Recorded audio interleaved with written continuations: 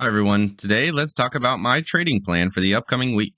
There are a few points that I do want to mention about the Ukraine war. Then, of course, we'll go through the major indices, starting with the Nasdaq, the S&P 500, and then for me, one of my major plays, which is AMD. And then I do want to briefly talk about ARK Invest, as this is the ETF that I watch for high growth stocks. If you like trading stocks and options and making money, definitely like and subscribe. I make videos like this as well as whole portfolio overviews every single week, so make sure you hit the bell so you don't miss out on any future content. Welcome to the Portfolio Bulletin. Let's get started. So, Ukrainian general says the war might be over by year end, but Russia is still saying that they might get more aggressive.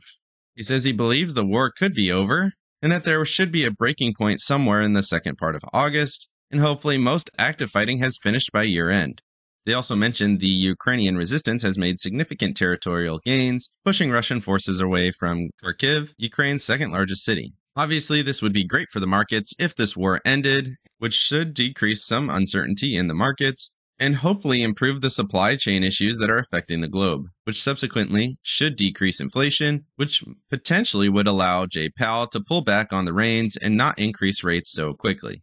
Moving over here to the NASDAQ, you can see we've been basically on a tear downwards ever since we had the Fed comments on 4 May. And since then, we collapsed basically from 324 down to 285, where we just barely touched that 285 level and then bounced right back above the $300 level, which was a pretty substantial support and resistance line going back to March of 2021 and I wondered if it was going to hold, and it ended up holding on the weekly chart. Even though we had some significant breakthroughs here on the daily chart, we then finished up above it to close out the week, which in my opinion means that this is going to break up into this next section, probably find some resistance around that 330, around that 325 to 330 level, before breaking back down to retest that $300 level, as well as this next level of support which has been guiding the markets here for at least a couple of months. So again, restate bouncing back up to around 330, retesting 300,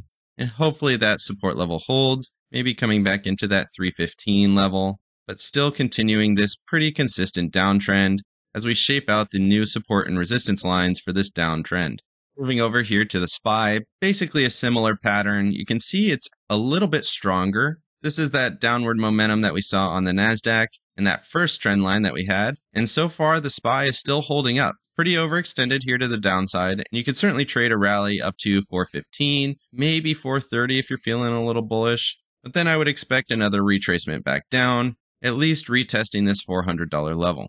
Moving over to AMD, this is one of my favorite stock. If you want to see my earnings report, definitely check out my last video on AMD because they crushed it. And you can see the stock is doing very well. It's definitely been downtrending along with the rest of the market, but over the past couple of days, it's been pretty flat compared to the NASDAQ, which was moving downwards very quickly. We had that big spike down here on 12 May to $85. And then we pushed all the way back up to $96 at one point before settling back down around $95. There's certainly some resistance right where we are right now. I could definitely see a break through this, a retest, and a continuation, maybe back up to this 114 level. If the rest of the markets rally like I expect them to over the next few days, that's what I would be looking for. A movement into this 105 level and a retest of that 55 EMA on the daily chart. Retest back down here, potentially at that same level, $95, and then a movement back up to 114 or so. After that, could go either way, but I do expect some short term bullish action, especially after the rally we saw to close out the week.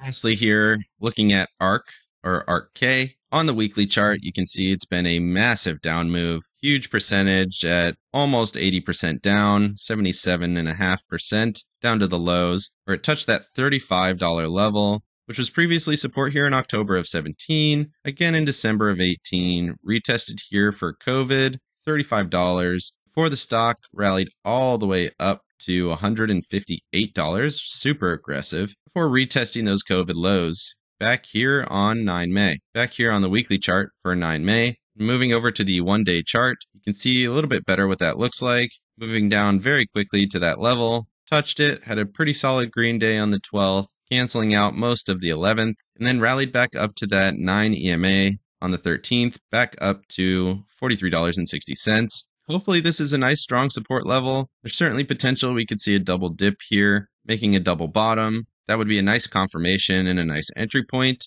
and potentially a move back up to that next resistance line, which I would put closer to around $55 right here at this break, or potentially the lows here at $52, which also was retested here on 5 May, which would be some decent upside, especially if we got a good entry down here at $35. Of course, this is still a pretty strong downtrend, so be careful being a little bit bullish here, but certainly seems like we are overextended to the downside, and growth is due for at least a relief rally. Let me know down in the comments what you think of the Ukrainian conflict, or just videos like this in general. I think I might make this a pretty consistent weekly video. I've been really enjoying watching other people's content. It helps with the technical analysis and seeing other people's perspective on the markets, but my perspective is a little bit different. And as I mentioned, I might do this consistently. So let me know down in the comments if you like this kind of content. And definitely like and subscribe if you got any value out of this video. And so you can keep up with my future videos, make sure you hit the bell before you go. Of course, none of this is financial advice. This is all for entertainment purposes. And have a great day.